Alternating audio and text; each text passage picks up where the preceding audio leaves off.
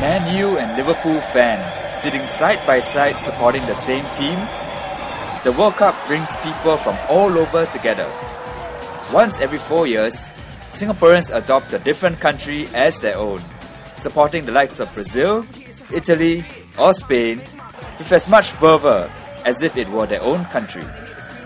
But the recent fiasco between StarHub and Singtel has infuriated many a fan, as football fanatic RJ can attest. I can't get, you know, Champions League because Singtel is nicely taken over that whole thing. Mio TV, fine, that, that's okay, you know. But hey, guys, No, it's you don't have a line in my area, so I have to Bedok, go ah, un- this is not uh, some ulu Yeah. out of the way. ah. Bedok, you know, I've been suffering, and I have to actually pick this up, going online, and actually, you know. Um, not watching it, but basically getting all the information online, all the um, words coming out delayed. My friend telling me goal. Said bloody hell, I got nothing coming out, no. and then about three, four minutes later, they tell you goal, who scored, you know.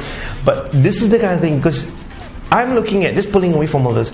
In the near future, this is going to happen. It's going to go on the internet, and you know, as the technology get bet- better, you know, all these big boys, you know, are, are going to suffer because Yeah. you can actually go online and pay for it. Because I'm waiting to actually go online and for, because I'm a Manchester United supporter, I'm just waiting for them to say, hey, okay, guys, you can actually go online and watch programs. I'm waiting for that. if these big companies are not careful, um, you're going to find people like Yahoo coming in, Google Oh, yes, coming in, yes. because they realize they got a global audience. And they have to They've charge. got the clout. They have to Once the technology gets there, they'll say, minimum. no problem. This is our bit. You match it. And, and, and the telecom companies, not just Singapore, They're they're not going to match it. And die. if the telecom companies don't get their act sorted out now, where they breed loyalty with the customer, where, okay, I'm paying a bit more for TV, but the loyalty factor is there.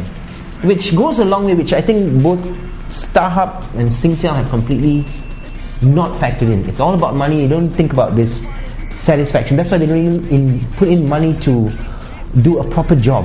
You know what I mean? Um I think that would be the problem. Very soon, you get a good internet package. Everything's there. So let's say worst case scenario, what if we don't get the World Cup here? What if we don't have the TV rights? What are the ripples and implications? I don't know. I, I to me, it will not happen. I think we might, but I mean, I don't think so, Ben. I think it, we- it might. But don't think you so, will see gonna what happened. Uh, uh, sorry to go on a little tangents, but there was a case in uh, in UK before where there were laws prohibiting the showing of live games at 3 p.m. because of the history of the English game. You cannot show it on TV. So what a lot of pubs did was get Norwegian cable, get uh, Danish cable, and show the games. So if you're not careful, you see that something happening here.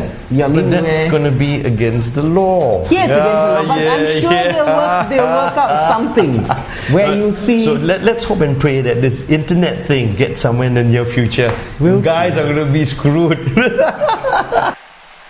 Another fine, if not cruel, example of how the internet can pose as the telco's biggest competitor yet.